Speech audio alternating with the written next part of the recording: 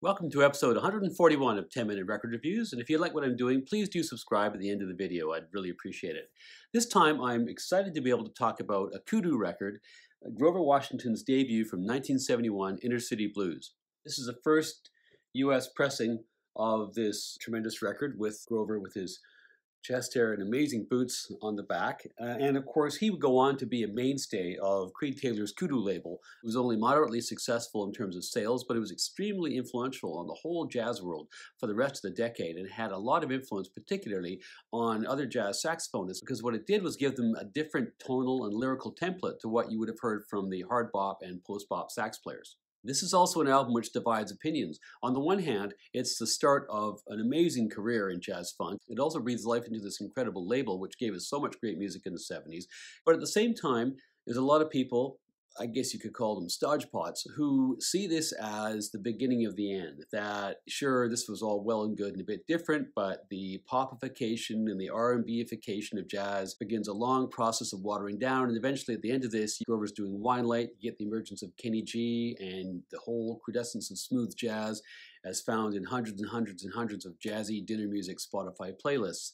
But none of this is Grover's fault. He, Creed Taylor, and the musicians they were working with knew that jazz had to change in order to be able to survive in the early 1970s, and this at the time was a breath of fresh air. Grover Washington's bio has a lot in common with the life stories of so many of the black musicians who became the giants of jazz in the 1960s and 1970s. The Rust Belt birth, he was from Buffalo, New York. A family who were solid in the church, but also huge jazz fans. Getting given an instrument at a young age, learning to play it, child prodigy, and sneaking into jazz clubs as a teenager to be able to hear his idols when they came through Buffalo. The only place where Grover's life story is atypical is that he doesn't actually have famous jazz musician friends while he's growing up. Instead, he has a basically unremarkable career as a young jazz player. After he leaves high school, he's in a few jazz groups, tours the Midwest, to not much acclaim. Then he gets drafted into the Army, and there he actually does make a key connection, and that's with Billy Cobham. Billy introduces him to his whole network in New York City, and after he leaves the Army, Grover makes the rounds, he makes his own connections, his wife was his manager, and they both decide the place to settle is not New York, but actually Philly, which of course has a great jazz tradition of its own. He's getting increasing amounts of session work thanks to the connections that he's made, and so he's popping up to New York now and then to make recordings. He has a regular standing gig to play with Charles Earland, and he actually appears in one of Charles Earland's live albums, and he also gets to know Idris Muhammad. Through these connections, he begins to get drawn to Creed Taylor's world, and his first big break comes when he's asked to play on the very first release by Taylor's new subsidiary label, Kudu, which was very much focused on black soul jazz and jazz funk. And that record was this one, Johnny Hammond Smith's Breakout. Poor Johnny, I almost think he looks a little bit sweaty in these photos. Anyway, great record, however. And Taylor was so impressed with Washington's playing that he signs him up then and there to be one of his in house crew of session musicians. Shortly thereafter, Grover gets another big break because on the third release that Kudu did, Hank Crawford was supposed to be the leader. And so the whole band had come in in September 1971. But then someone said, Well, where's Hank? He's got to play his alto leads. And it turned out that Hank was actually in Europe. So Taylor said to Grover, look, can you play alto? And Grover could, but he hadn't played much alto in a while, but he said, sure, and what are you going to say? And so he ends up making his debut. And it's kind of an amazing thing for a guy who really, outside of session circles, was basically unknown, to be making his debut album with a full string section, horn section, Creed Taylor producing, Rudy Van Gelder on the sliders in Rudy's own studio, and with an incredible cast of session musicians. So he set up perfectly here, and the performance in the album doesn't disappoint. As I mentioned, this record is engineered by Rudy Van Gelder and it's produced by Taylor. More about him in a second. It's also arranged by Bob James. James was instrumental in the arrangement, conducting, and the overall production of so many of the CTI and Kudu releases during this particular decade. There was a huge cast of musicians on here, but the other ones that really are worth mentioning are Ron Carter, who plays bass, of course, the former Miles Davis stalwart. Eric Gale, who's really just starting his career as a session guy, and two other key members of the rhythm section. Idris Muhammad is a drummer, that mainstay of so much great jazz funk in the 1970s, and the Brazilian percussionist Airto Moreira, who had a burgeoning solo career of his own. A few words on Creed Taylor, who's kind of central to the story of this album as well. He'd worked with a whole bunch of different legends. He'd worked with Mingus in the 1950s.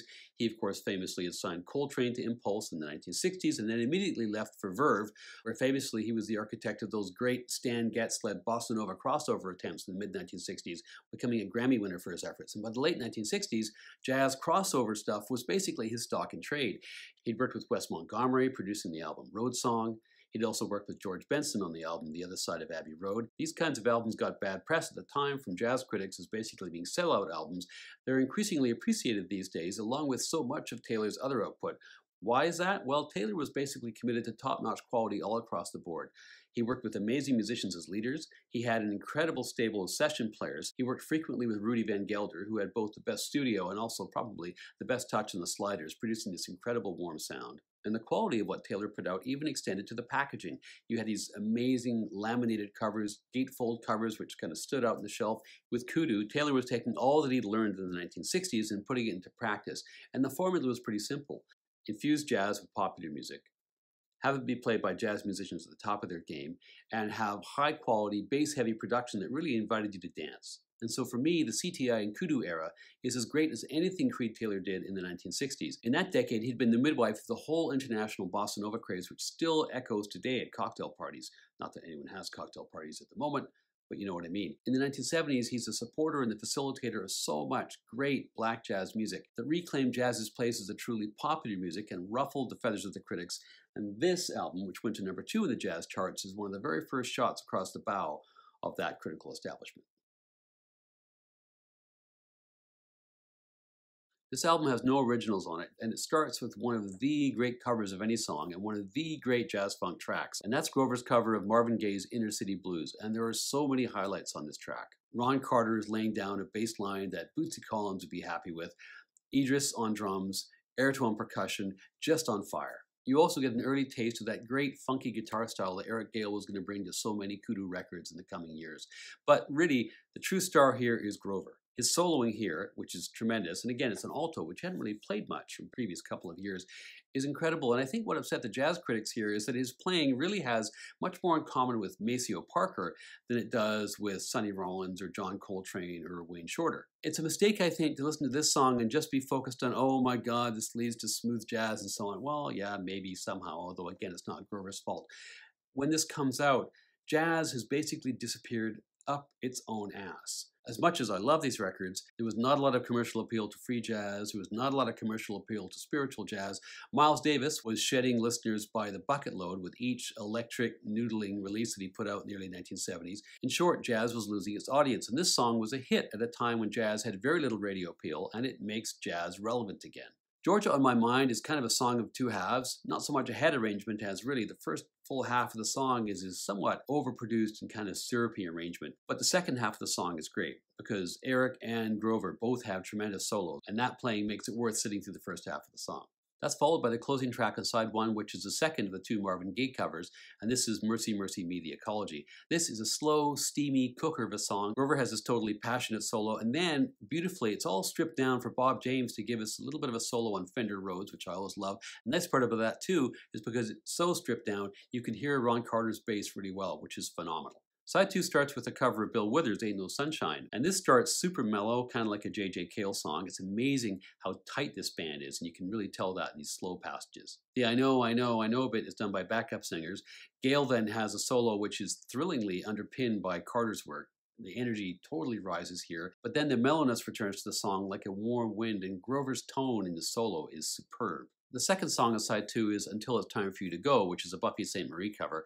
There are some interesting risks taken in the arrangement here, which actually work, I think. You get this cello and Fender Rhodes introduction, which then gives way to kind of a bossa nova beat, uh, which is an interesting take. I think it actually really works. Unfortunately, you can't really say that for the last song on the record. This is I Loves You Porgy, of course, the Gershwin standard, which had made Nina Simone famous for the first half of this track, they basically play it straight, which is not that interesting, frankly, to listen to. Somehow, the song just does not equal the sum of its parts. This is a great record, but it's an imperfect record. It's marred at times by some production choices and particularly some arrangement choices made by Bob James. But you have to say that of the six songs in this record, the three covers of contemporary R&B hits, as well as the cover of the Buffy Sainte-Marie song, are all amazing. This was a key record in setting out the stall for Kudu in terms of what we could expect of this label in future with the stellar production techniques, the incredible talent both in the studio but also in the booth. So it's pretty fascinating in itself as an historical document. As I mentioned, it sounds incredible. Grover would get better, but here he's pretty darn good, and I give this record 4 out of 5 stars.